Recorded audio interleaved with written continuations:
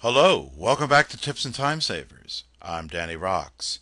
Today's lesson is in response to a viewer who is asking for my help to build an accounts receivable aging worksheet. Let's see the letter. Dear Danny, First, I'd like to say that your tutorials are great. I've watched them all, I believe, and I have learned quite a bit about Excel. Thank you. I need your help in building an accounts receivable aging report. I want to be able to see the amounts that are past due for 30, 60, 90, and over 120 days. I would like to see the total amount for each of these categories. I've tried several formulas and looked for help in several locations with no success. Can you help me with this project? Absolutely.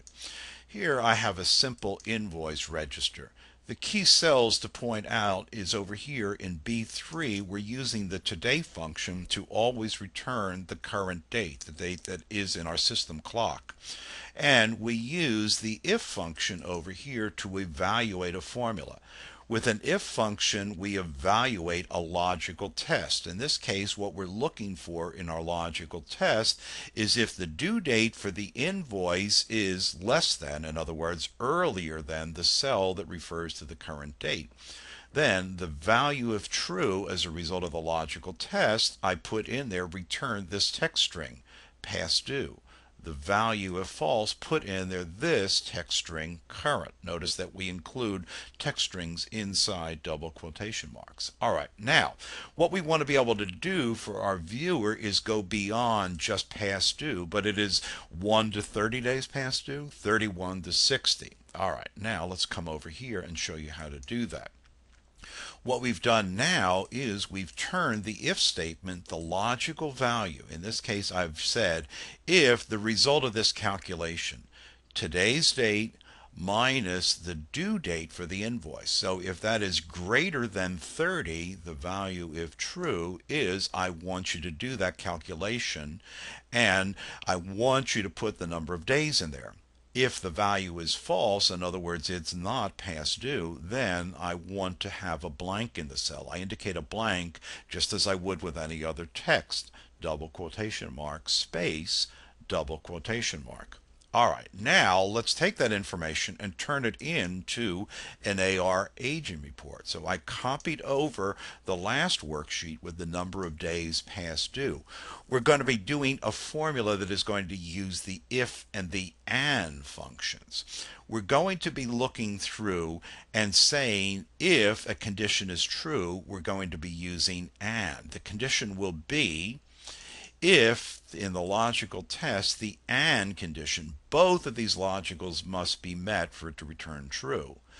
E6 is if the number of days that is past due meets both of these conditions, is greater than or equal to 1 and it is less than or equal to 30, then what I want you to put in here is the amount in that column. So down here we were able to get this amount into the 31 to 60 day past due column by using if and and. Both conditions were met. E8 over here falls within this range. It is greater than or equal to 31 and it is less than or equal to 60. All right, let's put this into practice over here. We use the if and the and function. So what we will do is say equals, well actually let's make it easier for here. We can copy over the formula that we have here and make a couple of quick changes.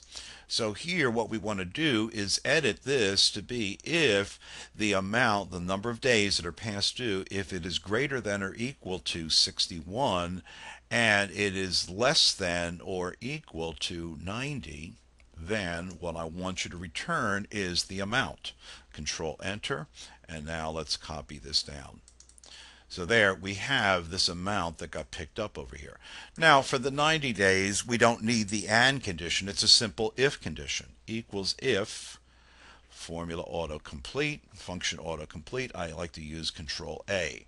So our logical test will be if over here, if the number of days is greater than 90, value if true, then I want you to return the amount over here, which is D6, and the value if false, put nothing in there, which is double quotation mark space double quotation mark.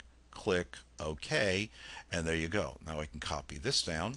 And now we have our totals for our aging report. The total amount past due 31 to 60 days, 61 to 90, and over 90. Finally, here's a little nicety. I'm going to introduce you very quickly to the weekday function. The weekday function, when we put a weekday function, equals weekday